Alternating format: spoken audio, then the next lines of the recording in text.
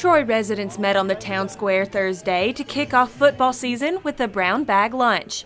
The head coaches at Troy University, Charles Henderson and Pike Lib, spoke, along with Mayor Jason Reeves and Chancellor Jack Hawkins.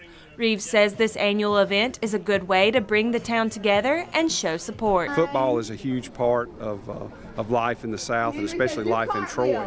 So we're, we're excited about today. We're excited about the start of football season. As I said earlier, it brings families and uh, friends and communities together and uh, and they enjoy, you know, rooting for the Trojans and rooting for their high school teams. And so this is a, a great event, a good way to kick it off, uh, to allow people to, you know, become aware of what's going on and, and, to, and to get excited. Coach Brown says the Trojans are looking forward to a challenging but successful season with the support of the Troy community. We play a challenging schedule. Our Sun Belt Conference is going to be is going to be much improved. September 9th is our home opener against Alabama State, and 45 minutes away. They're going to bring a great band. It's going to be a great environment. We're looking forward to selling out our stadium uh, for the first time since it's been renovated, and it's going to be a great evening for football here in Troy, Alabama.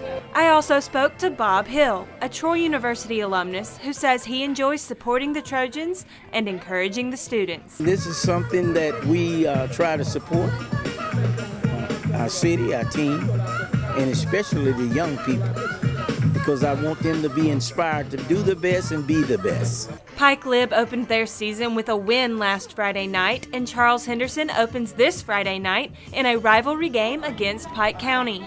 Anna Kate Patterson, Troy, Trojan Vision News.